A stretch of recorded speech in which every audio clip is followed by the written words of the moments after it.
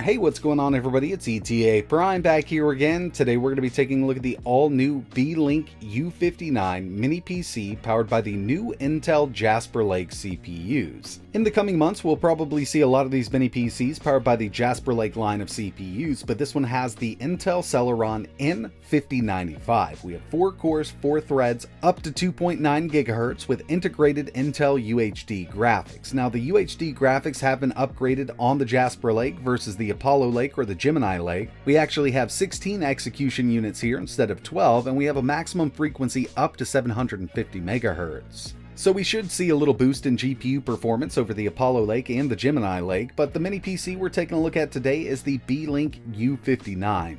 This is the 8GB version, so we have 8GB of RAM and a 256GB M.2 SSD.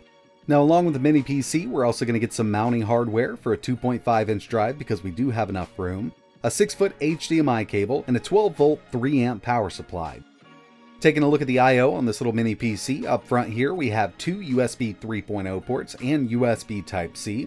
Moving around back, we have two full-size HDMI ports, gigabit Ethernet, and two more USB 3.0 ports. The chip they're using in here has a 15 watt design, but this is a fan unit. It's not passively cooled, and through my testing so far, this thing has not gotten loud whatsoever, but it's only running at 15 watts. N5095 4 cores, 4 threads, up to 2.9 GHz, 8 gigabytes of DDR4, and the way it's set up right now out of the box with the 8 gigabyte version, we only have a single stick, but we do have two DIMMs, and you can bring this all the way up to 32 gigabytes.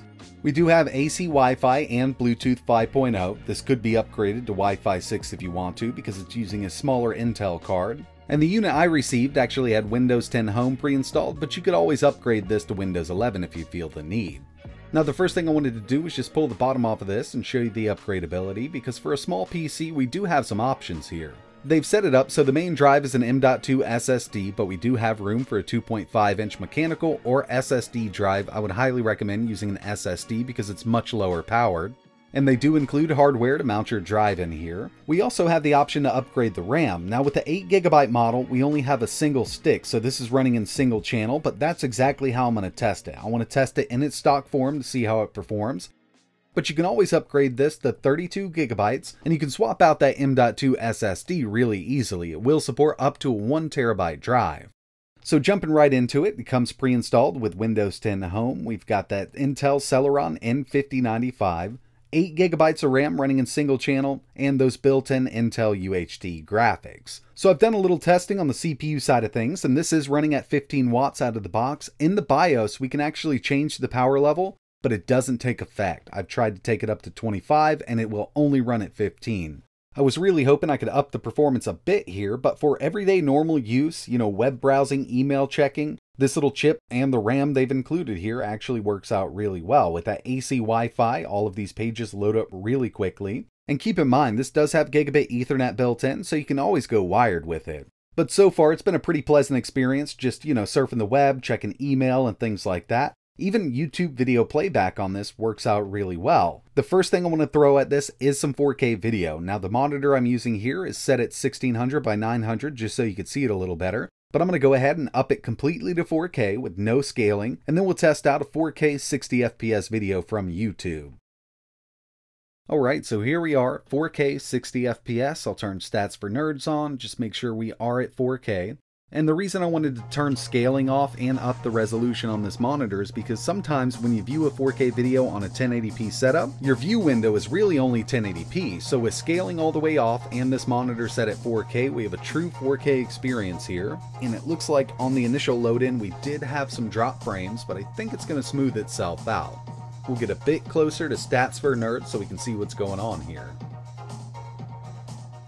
So upon the initial load in, we had quite a few drop frames. We're sitting at around 90 here. I haven't seen it drop many more since then, and I do think that this could be ironed out with an extra stick of RAM. Because when it comes to these integrated GPUs, running it in dual channel definitely helps out, even with video playback here. The next thing I did was run a couple benchmarks. First up, we have Geekbench 5 coming in with a single core score of 647, multi 1725. It's definitely looking pretty low when you compare it to the newer mini Ryzen PCs that are hitting the market, but for these Intel Celerons, this is beating out that 4100 and 4125 for sure. Next up, we have 3DMark Wildlife with a 1371, and finally, we have Night Raid with the 2596. Now, with both of these, Wildlife and Night Raid, I'm sure we could up this score by a bit if we added an extra stick of RAM, but I wanted to keep it stock, keep it just like it sits coming out of the box.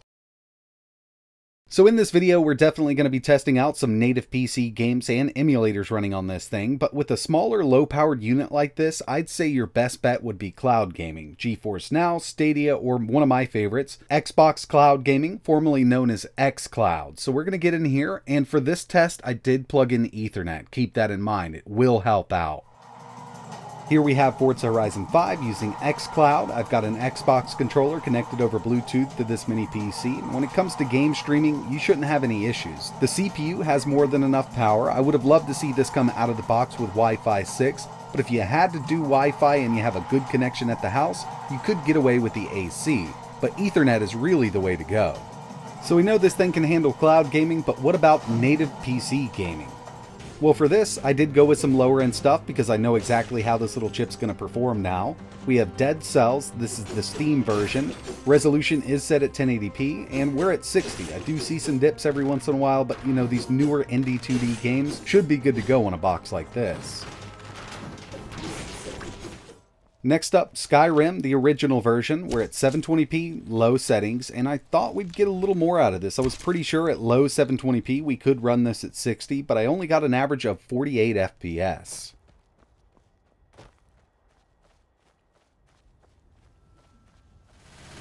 And finally here, Left 4 Dead 720p with a low medium mix. We are over 60. I got an average of 71 FPS out of this, and we could probably run this at 1600 by 900.